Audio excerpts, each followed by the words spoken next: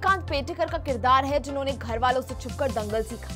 अखाड़े में गाँव के दामाद को हराया तो गाँव से भागना पड़ा। भागते भागते फौजी बने। फौज में भर्ती हुए ओलंपिक का गोल्ड मेडल जीतने का सपना लेकर। और जब गोल्ड मेडल मिला, तब तक उनके जिस्म में नौ गोलियाँ पैबस्त हो चुकी।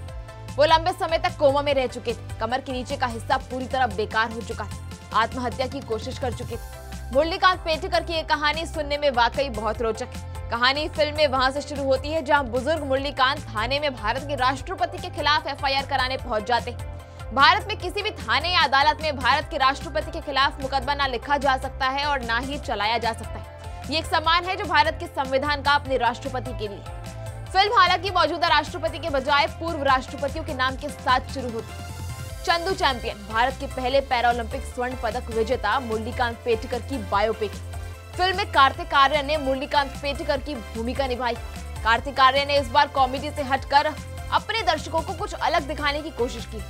कबीर खान के निर्देशन में बनी कार्तिक आर्यन स्टारर फ़िल्म चंदू चैंपियन 14 जून को सिनेमाघरों में रिलीज़ हुई। इस फ़िल्म में कार्तिक ने first paralympic gold medalist Murlikant Petkar का किरदार अदा किया था। हालाँकि काफ़ी प्रमोशन और उम्मीदों के साथ रिलीज़ हुई ये फ़िल्म शुरुआती थोड़ी धीमी पड़ी, लेकिन फिर वीकेंड पर वो हुआ जिसकी किसी को उम्मीद नहीं थी। फ़िल्म ने टिकट काउंटर पर कब्जा कर लिया और जमकर कमाई कर ली। चलिए यहाँ जानते हैं चंदू चैंपियन ने रिलीज़ के चौथे दिन कितना कलेक्शन किया। बॉक्स ऑफ़िस पर रिलीज़ के पहले दिन चंदू चैंपियन की स्लो स्टार्टिंग हुई तो कार्तिक आर्यन से लेकर मेकर्स तक के मुँह लटक गए। लेकिन वीकेंड पर फ़िल्म ने जो रफ्तार पकड़ी, वो सभी के लिए राहत की सांस पॉजिटिव वर्ड ऑफ़ माउथ और शानदार रिव्यू की बदौलत चंदू चैंपियन को ओपनिंग वीकेंड शानदार रहा और इससे शानदार कलेक्शन कर लिया फ़िल्म की कमाई की बात करें तो चंदू चैंपियन ने रिलीज़ के पहले दिन 5.40 करोड़ की कमाई कर दूसरे दिन फ़िल्म ने 7.70 करोड़ का कलेक्शन किया। वहीं तीसरे दिन चंदू चैंपियन ने ज़बरदस्त उछाल लेते हुए 11.01 करोड़ का कलेक्शन कर लिया। इसी के साथ इस फ़िल्म ने ओपनिंग वीकेंड पर 24.11 करोड़ की कलेक्शन कर ली। वहीं अब इस फ़िल्म की कमाई के चौथे दिन, यानी मंडे की कमाई के शुरुआती आंकड़ों की बात करें फ़िल्म को सोमवार को बकरीद की छुट्टी का फ़ायदा मिल गया। ट्रेंड रिपोर्ट्स की बात करें तो चंदू चैंपियन ने रिलीज़ के चौथे दिन, यानी सोमवार को 4.7 करोड़ का कलेक्शन किया। इसी के साथ चंदू चैंपियन का चार दिनों का कुल कलेक्शन अब तक 28.86 करोड़ रुपए हो चुका। चंदू चैंपियन ने बेशक स्लो स्टार्ट किया हो, लेकिन इसने अपने बॉक्स ऑफ़िस पर अपनी पकड़ मज़बूत कर ली।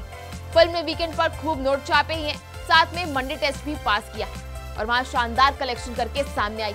फ़िल्म की कमाई की रफ्तार देखते हुए लग रहा है कि जल्दी 100 करोड़ के क्लब में भी शामिल हो सकती है।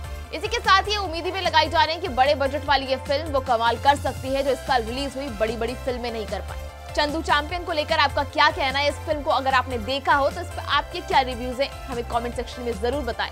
ऐसे ही बॉलीवुड से रिलेटेड खबरों को जानने के लिए बने रहिए बॉलीवुड केसरी के साथ। वीडियो को लाइक शेयर करना बिल्कुल ना भूलें।